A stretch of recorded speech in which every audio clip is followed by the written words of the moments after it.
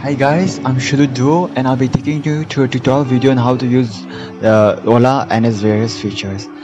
So I click on the outstation option and I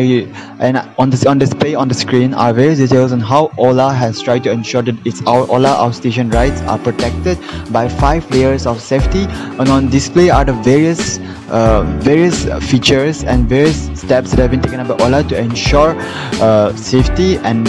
erasure of any danger related problems. And on display are the various seating capacity that is allowed according to the various situations in the state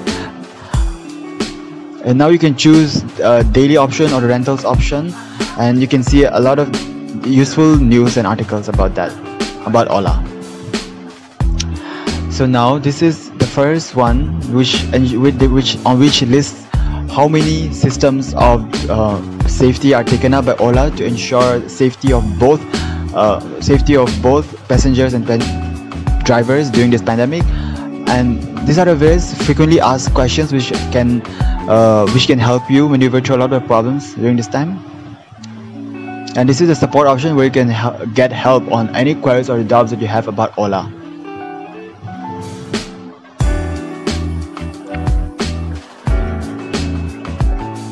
This is my account.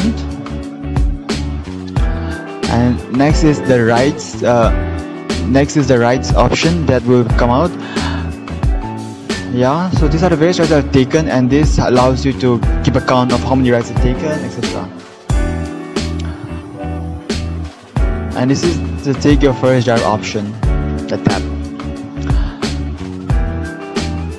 Uh, Ola money. So this is how you can pay for your cab rides using wallet using your cab wallet which you can deposit money into by upgrading your KYC and these are there are various payment options like UPI and Google Pay uh, cash etc but cash is not the best option during this pandemic time.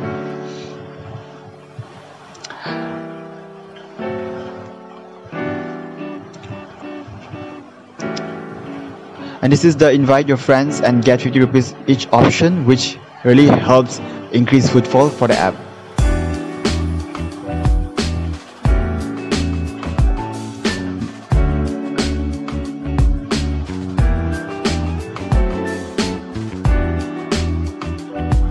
need help with your rides so if you need any help with any issues like fares and payment safety uh, my account a guide to Ola etc you can go to the you can select and you can select tab and you can go through many of the questions that are on display to help you maneuver through many of the technical uh, problems of Ola or any or if, if you have any issues or if it's too complicated for you. So it's a really good feature which helps you which helps you maneuver through a lot of the